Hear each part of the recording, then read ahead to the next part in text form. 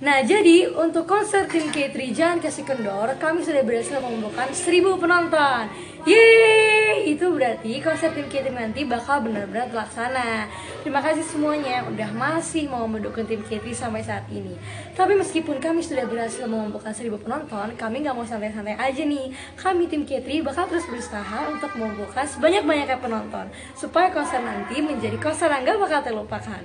Perasaan aku benar-benar bersyukur banget dan aku seneng karena aku bisa bergabung di tim K3 bisa bergabung di tim K3 yang kuat, yang kompak. Jadi semoga ke depannya tim K3 tetap bisa memberikan yang terbaik dan semoga konser nanti berjalan lancar dan sesuai dengan harapan kita semua.